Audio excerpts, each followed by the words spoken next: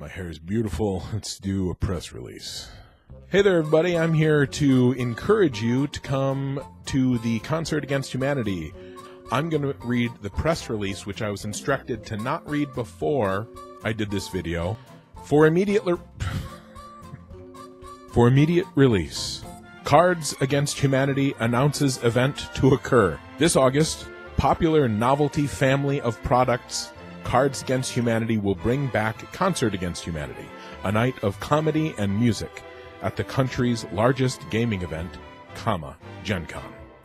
Direct quote, we heard from many fans that Concert Against Humanity provided an welcome distraction from the crushing misery of their everyday lives, said Cards Against Humanity events director Trin.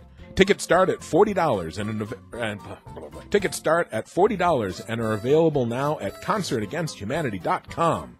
There's a link somewhere, accessible probably around this video. The concert will take place on Friday, August 5th, and is expected to sell out.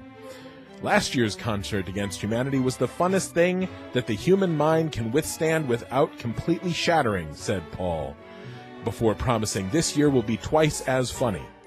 The concert will include a major giveaway, one lucky attendee, hey, free tickets, and a balcony cabin on JoCo Cruise 2017. That is some swank shit. Um, so absolutely sign up for that. Honestly, I'm just doing this to promote my cruise, said Jonathan Coulton. If this doesn't sell out, I am definitely going to be fired, added Cards Against Humanity community director Jenn Bane. Please buy tickets. I'm begging you. Sometimes they beat me with a hose. Is this the thing I'm supposed to be reading? Is this is this what a press release is supposed to be like? Is, was this worded specifically to, to fuck me?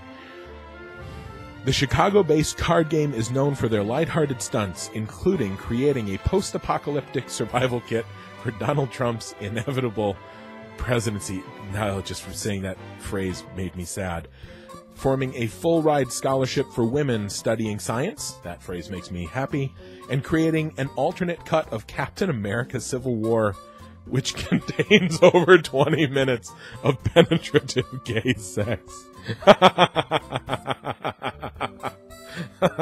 I ship it.